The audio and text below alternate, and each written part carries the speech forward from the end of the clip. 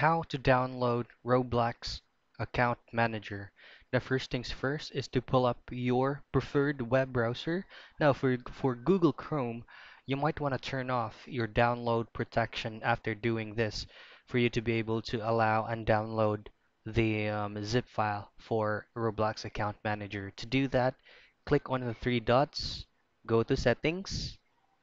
Now, on the left corner of your screen, you go ahead and click privacy and security, and then click security. Now, this part, uh, sometimes it is already enabled as standard protection. Now, you might want to turn it off first, no protection, and then save.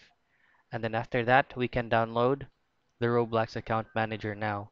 Go to your search bar, type in download Roblox Account Manager. Now you need to click on the first link. You'll be routed to this website and then you scroll down a little bit and you click download. It will automatically prompt up here. Then pull up the file that you have downloaded, extract all of them,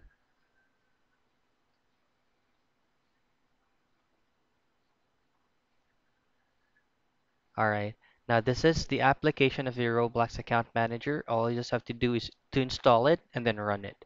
So that's how you download Roblox account manager.